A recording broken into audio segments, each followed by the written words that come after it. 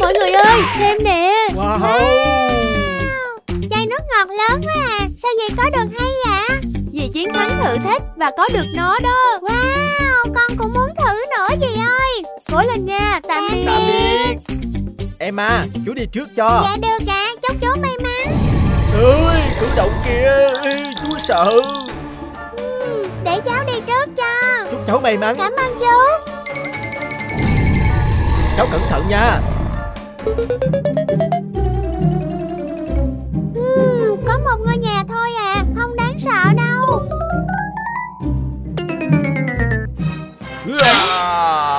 Ôi không Ai vậy? Sợ quá đi à.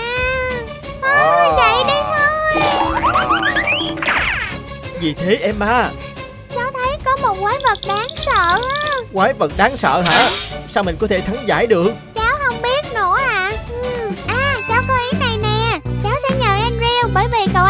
dũng cảm Và cậu ấy sẽ chỉ cho mình. Wow được đó. Cố lên nha Emma. Cảm ơn chú Sam nha Tạm biệt. Tạm biệt. Ừ, Mình sẽ theo dõi và học hỏi thêm nha. Chào. Chào, có gì hả Emma? Cậu là người dũng cảm nhất. Cậu giúp mình thắng mê cung kinh dị nha. Được, mình chỉ cho nha. Cảm ơn. Làm theo mình nè. Ok. Giờ thở sâu nè Emma. Ok Cậu thấy gì Emma? Không mình không thấy gì hết á. Và cậu dùng trí tưởng tượng Mỗi khi cậu thấy gì đó đáng sợ nha. Được để mình thử nha. Tưởng tượng. Andrew ơi mình nhìn thấy bãi biển. Đấy, trí tưởng tượng có thể giúp cậu đó. Ồ ý này hay nha. Tưởng tượng Tưởng tượng Ừm, Tưởng tượng. Ui mình sắp thắng rồi. Tiếp tục nào Emma Ok Hiểu rồi nè các bạn ơi, Bắt đầu thôi. Ừ. Dùng trí tưởng tượng. Mình nghĩ ra một chú cuốn đáng yêu. Một chú cuốn đáng yêu. Thấy chưa, chú cuốn đáng yêu? Chú cuốn đáng yêu. Ô Là căn nhà thôi mọi người Không có gì đáng sợ đâu. Tưởng tượng, tưởng tượng. Mình thấy chú cuốn đáng yêu. Chú cuốn đáng yêu. Ơi Vẫn là bộ xương mọi người ơi Không được rồi Chạy thôi. Chú Sam ơi sao vậy? Giờ chú thấy bộ xương đó Chú sợ quá đi. Thiệt á hả? Ừ, Cháu nghĩ cháu sẽ vượt qua được á.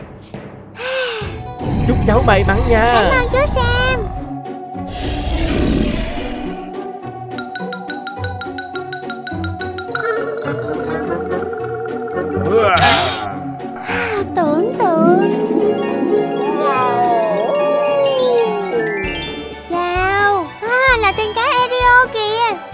mọi người ơi. Bye.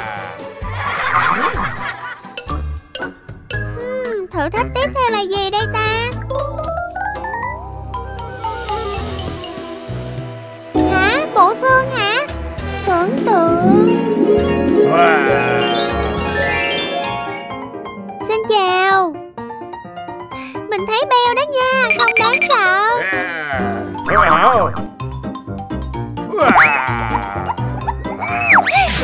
Tưởng tượng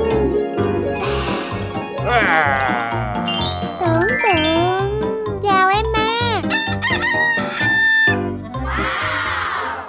Thấy beo là gà đó nha Hả? Không sợ hả Emma Hả? Ai đó? Chú đây Chú Trai nè Hả? Là chú trai hả? Thiệt Đây là trò chơi mê cung của chú Cháu thắng rồi Emma ơi Yeah đây phần thưởng của cháu. Wow, là xe chuột mini kìa. Cháu thích lắm luôn.